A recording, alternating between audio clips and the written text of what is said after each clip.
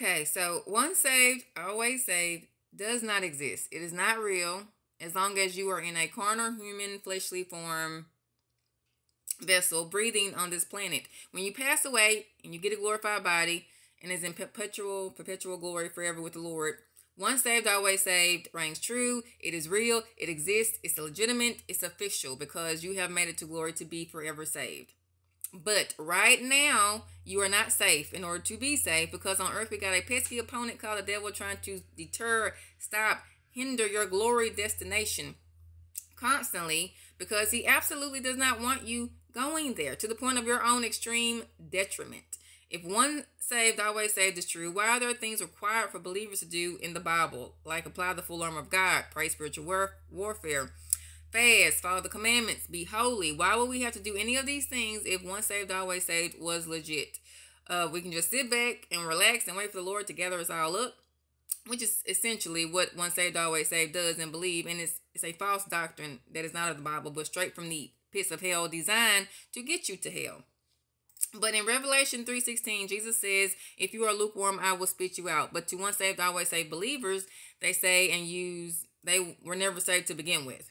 But why would Jesus say, "I will spit out a lukewarm" when we already know many times from the Bible where unbelievers go, uh, they're not even of God. But Jesus says, "I will spit you out of my mouth," because He is talking about those who profess to be of Him but have fallen away.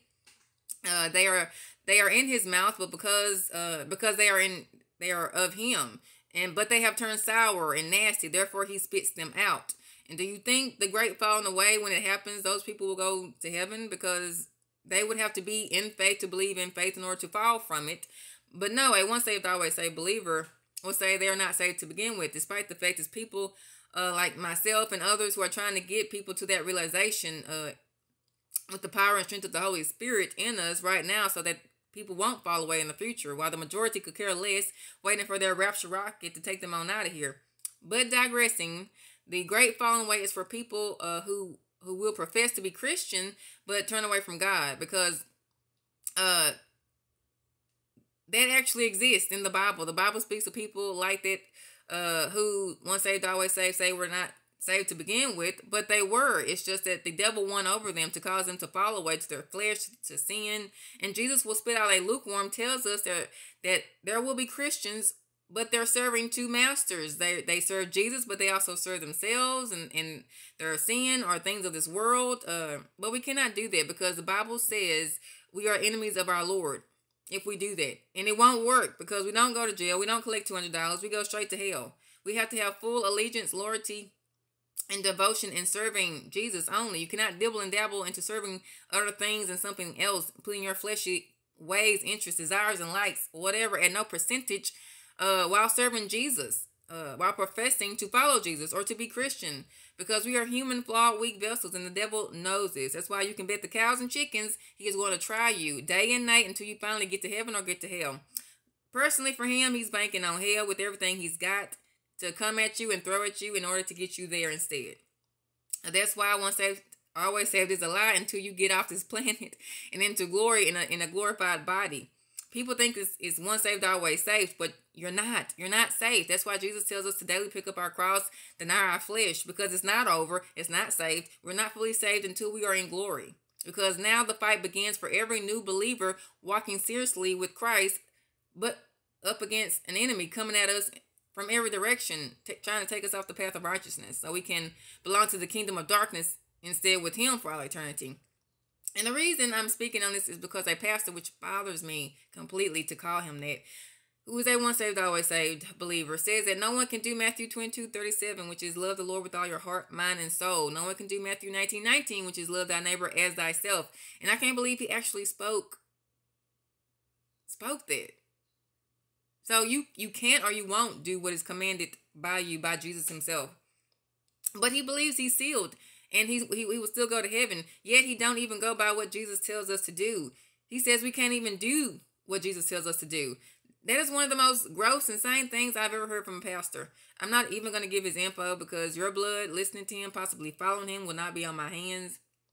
But, brothers and sisters, you cannot disobey the Lord and think you are safe, sealed, raptured, whatever. That's why that doctrine, I can't stand it. It corrupts the minds away from the Lord.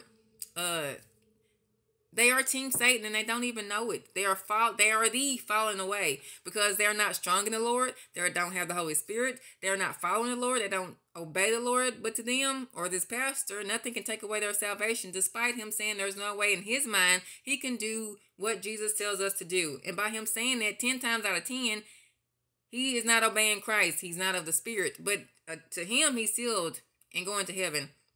These people are in for the rudest awakening. They have no idea and for someone who lives by the Bible, who isn't a part of any denomination any longer, to fully practice and be taught in the way of the Bible and not man made doctrine, this is grievous to me. But imagine what our Lord and Savior must go through, dealing with this day in and day out for thousands of years. This is why we should follow the Ten Commandments, because the Lord our God is most long suffering to our deceit and foolishness and rebellion and sin, and us doing what we want to do, which is a slap in the face most of the times to Him. But He he is he is long suffering and merciful and and and and, and kind and he just loves us so much. Uh if he didn't we would we, we would all be burning right now. That alone should make us want to completely sell out for jesus christ and completely strive to follow every commandment he spoke of us to practice and do in our own lives that much more in love and complete obedience to him. But he has to deal with his children who don't love him who don't love him enough who mock him who sin against him who do evil against him and I was once guilty of that. I hate that old creature that I was who was against the Lord all the time because I did things my way. So right now, just hearing someone else kind of speak like that, you know, I, I know they're not fully in Christ. I know they're lukewarm. But just imagine what what Jesus is going through and what he has been going through. And maybe it could be because I have got a, I got a taste of hell to receive a second chance, and they haven't. But I can't imagine what the Lord goes through dealing with His people who don't love Him, who, who don't follow Him, who believe they don't have to, who believe they can't. You know, it's because the enemy has gotten in their ears and told them a lot that they believe. The Lord to God, our, our, our Lord is very long suffering to all of us to keep putting up with our rebellion, our sin, and doing us and doing what we want to do instead of what he wants us to do uh in our lives because he he still wants us to finally come to that point where we truly turn to him, love him, come to him in forgiveness. So he can forgive us and show us the way we should go. But many of us act like we don't even need him. And if you can't completely follow the commandments, you need Jesus. If you have anger heart uh, anger in your heart hate in your heart. If, if you're struggling with anything if you can't be complete completely obedient to what jesus is telling you to do you need jesus. You need jesus. If jesus can take away sin or strong bondages or or chains he can make he can give you a heart that's completely completely devoted and, and sold out for him and following him. He can do that. I speak personally from that.